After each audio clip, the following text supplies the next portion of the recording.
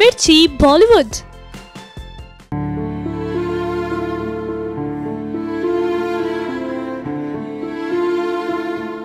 Hello friends मैं हूँ कविता।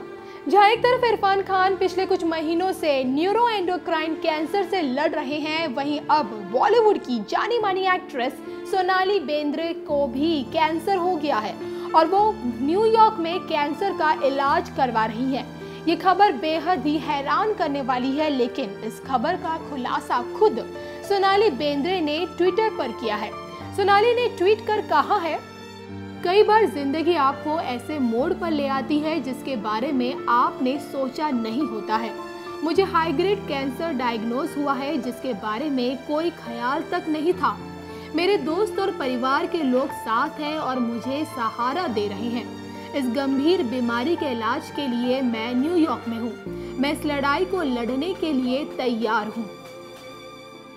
बता दें कि जैसे ही सोनाली की बीमारी की खबर फैंस को पता लगी, हर कोई हैरान हो गया और सभी ट्विटर पर उनके जल्दी ठीक होने की कामना कर रहे हैं। कहना गलत नहीं होगा कि बॉलीवुड को काफ़ी बड़ा झटका लगा है। इरफान के बाद अब सोनाली भी कैंसर जैसी बीमारी से लड़ रही हैं और बता दें कि सोनाली ने सरफरोश हम साथ साथ हैं और लज्जा जैसी फ़िल्मों से लोगों का दिल जीता।